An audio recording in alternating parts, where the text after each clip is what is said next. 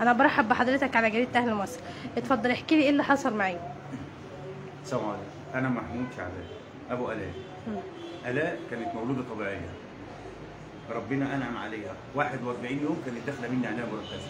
58 يوم كانت قطع نص الجمجمة بتاع دماغها. إزاي بقى؟ أنا راجل نجار مسلح زي ما حضرتك شفت كده. فإزاي أنا ما أعرفش؟ يمين بالله حقيقي وحب بنتي ده أنا ما أعرف. هي لما دخلت العناية المركزة كانت بتعاني من إيه؟ ما كانش فيها حاجة خالص. هي تعبت كشفت عليها الدكتور قال لي لازم تروح المستشفى دلوقتي تخش المستشفى عناية مركزة. آه لازم تدخل عناية مركزة لازم دلوقتي. عناية مركزة. قعدت فيها قد إيه؟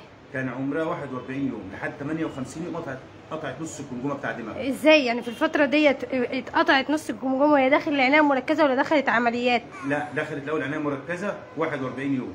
آه. كان عمرها 41 يوم. لحد عمرها 58 يوم. احسبها حضرتك الفترة دي. دخلت عمليات؟ لا ما دخلتش عمليات. آه. ما دخلتش غير وهي عمرها 58 يوم. طب ماشي ما هو برضو اتقطع نص الجمجمه إزاي وهي في العناية المركزة؟ عم- دخلت عمليات عملت العملية. وهي عمرها إيه- 58 إيه- يوم. عملت عملية إيه؟ قطعت نص الجمجمه دي إيه العملية اللي دخلت عشانها؟ يعني هي داخلة تعمل عملية إيه؟ أنا ما أعرفش. إزاي حضرتك ما تعرفش؟ يعني حضرتك والد الطفلة.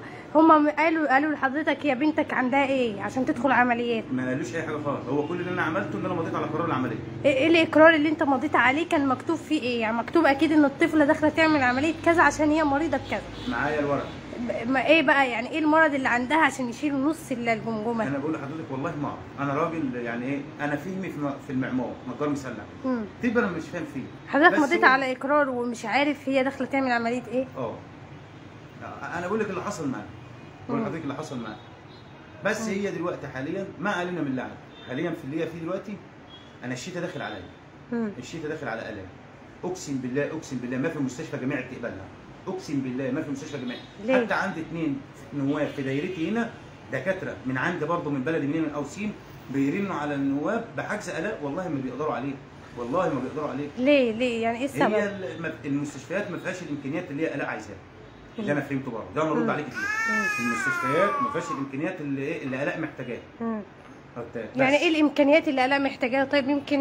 يعني حد بيسمعنا يقدر يساعدنا. هو بيقول لك لازم تتحجز. يعني الدكاترة هنا يقول لك لازم تتحجز. تتحجز في مستشفى آه، أبو الريش الدمرداش أطفال مصر. ايا كان المستشفيات اللي هي الجامعي اللي هي زي أبو الريش كده. بس هل المستشفيات دي اللي حضرتك ذكرتها فيها الإمكانيات اللي تقدر تخدم آلاء؟ لا. طب ما هي إزاي هتتحجز في مستشفى من دول وهي ما فيهاش إمكانيات برضه؟ لا ما هي من هل الاء مثلا محتاجة تسافر بره مصر؟ الاء الاء اللي فهمته منها اللي عرفته عنها إن الاء بنت مش هنا خالص. الاء بنت مش هنا خالص. بمعنى كنت حضرتك بتصوري وأنت حضرتك بتصوري اوريكي ورق. بس أنا هطلب من من الناس كلها اللي شايف الاء أقسم بالله أقسم بالله كمان مرة الاء ما في مستشفى جامعي تقبلها. أنا الاء دي في الشتاء طبعا اللي عنده برد بيجي له دور برد بيقعد يومين شهر في البيت. أنا الاء دي باخد الشتاء كله يمكن حضرتك شفتني دلوقتي أنا جاي من الشغل. أنا ما بشتغلش في الشتاء. وربنا يعلم بتبقى ماشية مع الواحد ألاقي. إزاي. عشان ألاقي. طبعا بروح بقى من المستشفى دي للمستشفى دي يشفطوا لها يركبوا لها جهاز شفط يشفطوا لها البلغم من على صدرها يعملوا لها جلسات. ممكن أقعد يومين ثلاثة طوارئ وأخدها مم. وأمشي ابو الاء كده. هو ده اللي بيدور معايا. كشغل أفضل طول الليل. هي على رجلي شوية وعلى رجل أمها شوية. لو نامت على الأرض زي كده ما تطقش. ما. تعرفش تنام على الأرض. وهي تعبانة. طبعا هي تعبانة وجع. هترقدها كده بتزود وجع على الوجع أكيد كل- طبعا. كل اللي أنت تقدري تعمليه لها بتشيليها من على الأرض بترفعها على رجلك. مم. تخففي على الالم أنا عندي ألاء بتعشق حاجة. لو عايزين تعرفوا أكتر ألاء معايا أنا بالذات. يعني مع بعيد عن أمها كمان اسألوا. ألاء بتاع لو نطقت هتقول مين؟ لو نطقت مم. لو ربنا نط... أنعم عليها بنعمة النطق هتقول لك مين؟ هتقول. لك أبويا. بالبلدي. هي وأمها الله يبارك لها بصراحة مش مقصرة معاها. بس أنا هي ميالة معايا قوي. مم. ليه أنا باخدها وبخرج بيها؟ اخدها اتهوى بيها شوية أقعد بقى قدام الباب. ما بتكسفش أنا شيء أنا ما بتكسفش خالص. هي بنتك يعني آه أنا ما بتكسفش من لا ما بشغلش يعني؟ دماغي أنا ما بشغلش دماغي بأي حاجة خالص. أنا ما بشغلش دماغي بأي حد على الأرض. كانوا بيقولوا على النبي عليه الصلاة والسلام ساحر ودجال. وكانوا بي- بيقولوا عليه بتاع أنا محمود. أقل خلق على الأرض مش هيتكلموا عليها. فأنا باخد بنتي أروح شايلها وماشي بيها. أخرج بقى أجيب كيس عصير. هي بت...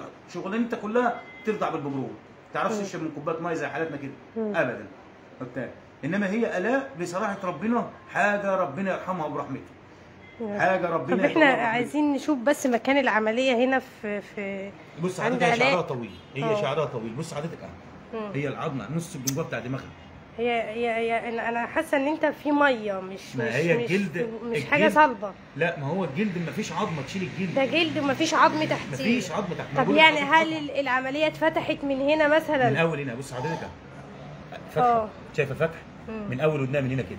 لفة اللفه دي كلها كده نص الجمجمه بتاع دماغها وتشال عظمة من جوه. واتشالت العظمة إيه من جوه. العظمة دي بقى كان فيها إيه عشان تتشال؟ أنا والله ما أعرف.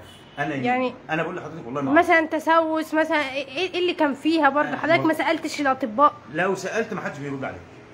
يعني زي حضرتك ما رحت مستشفى اللي عملت فيها العملية ما قالولكش إيه السبب؟ رحتش مستشفى تانية سألت دكتور تاني قال لك مثلا كل إن- اللي قالوا لي اللي يقولوا لي إن ألاء لازم كانت لازم تقطع العظمة دي عشان لو ما قطعتش العظمه دماغها هتفرقع.